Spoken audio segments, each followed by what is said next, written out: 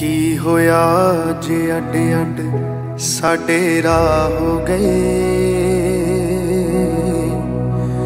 ਬੱਚਿਆਂ ਜੈ ਪਾਲੇ ਸੁਪਨੇ ਸਭ ਤਬਾਹ ਹੋ ਗਏ।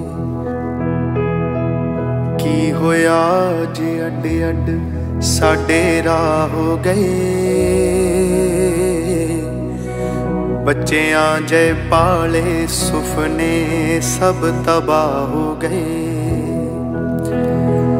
ਨਾ ਮੈਂ ਲਿਖੀਆਂ, ਨਾ ਤੂੰ ਲਿਖੀਆਂ ਭਾਗ ਦੀਆਂ।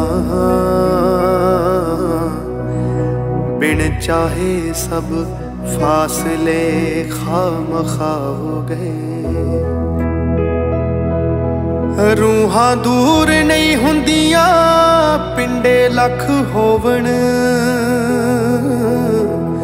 ਰੱਬ ਰੱਖੂਗਾ ਡਰਨਾ, ਆਪਾਂ ਨਹੀਂ ਰੁਲਦੇ। ਕਿਦਾਂ ਕੋਈ ਪਾਬੰਦੀਆਂ ਲਾ ਲੋ, ਦਸ ਪਰੀਤਾਂ ਤੇ। ਕਦੇ ਦਿਲਾਂ ਨੂੰ ਰਾਹ ਦਿਲਾਂ ਦੇ ਨਹੀਂ ਭੁੱਲਦੇ। ਕਦੇ ਦਿਲਾਂ ਨੂੰ ਰਾਹ ਦਿਲਾਂ ਦੇ ਨਹੀਂ